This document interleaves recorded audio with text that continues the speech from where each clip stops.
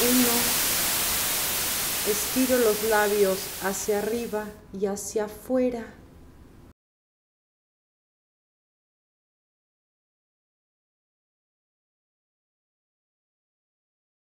Dos, estiro la punta de la lengua hasta los alvéolos del paladar, donde me apoyaré luego para el sonido líquido.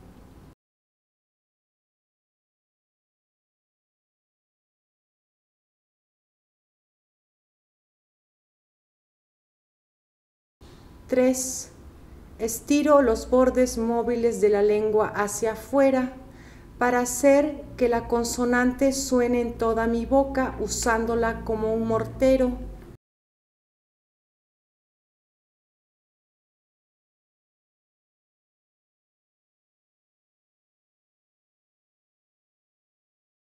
Cuatro, me integro, me siento mi propio sonido, lo planifico en mí, lo siento como una proyección de mis líquidos vitales.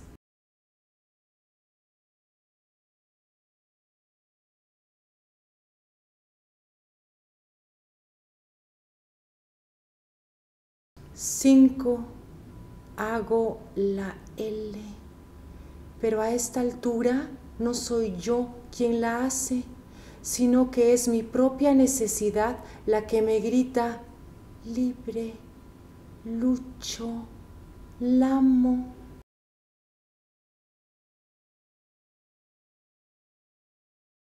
Seis.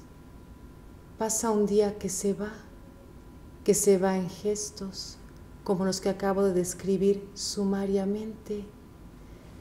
Si uno supiera dónde estará nuestra tumba al morir, no logro imaginar la impresión de caminar por ese sitio, rondar como un gato.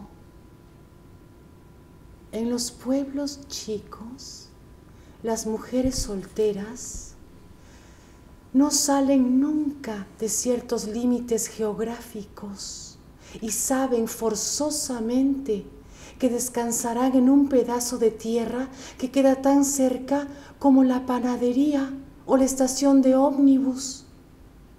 Pero eso pasa en los pueblos chicos, donde la vida es sencilla, en el orden cerrado de los pueblos chicos. Y hablo de pueblos que no conocen el mar, porque ahí el caso es completamente distinto.